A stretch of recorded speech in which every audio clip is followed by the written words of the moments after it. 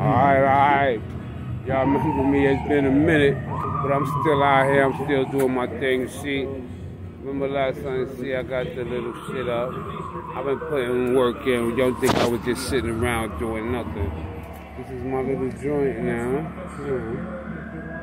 That's what I was working on. Let's go inside and see how far I got so far. How far I got. I still got more on my shit that I'm gonna do more. Ooh, my light is out. Let me see what other light is out.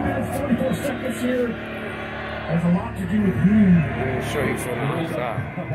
Y'all seen the outside. I think in a lot of ways, that somebody can come in like Cincinnati did last year, but they're to have to upset one of these two teams. Yeah.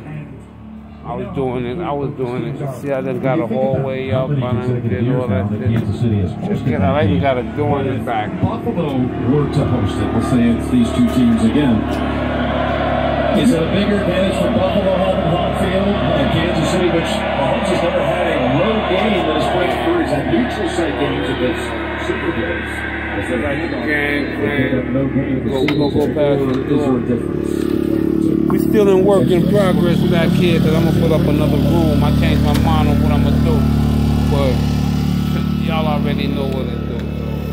Bang, bang. We was cooking. We had fish and shit out here earlier. Y'all missed it. Well, I missed taping it, but I'm gonna be in here right now for a minute. Watch the game. struggle with some of the communication aspect, right? That goes a long way. What's going to happen the road in general? Think about how place would be Buffalo. Kansas City's as good an advantage here they have. Shit, great defensive play by Williams. He got third a few times. He had safety help on that one. The But I think who wins this game probably has the edge. Not only on having the game at home, but having home field and going to the Super Bowl. I really think these last nine matches, when you go back and look at that season, going to remember these plays right here, that drop. I'm gonna this get back to the stuff, these are game. games I'm, that I'm going with back. Buffalo, so They face a third y'all and 10. stay tuned. Subscribe, like, and leave a message. That's all. I'll be back. I got. I'm not gonna stay away so long. Peace. Enjoy the ride.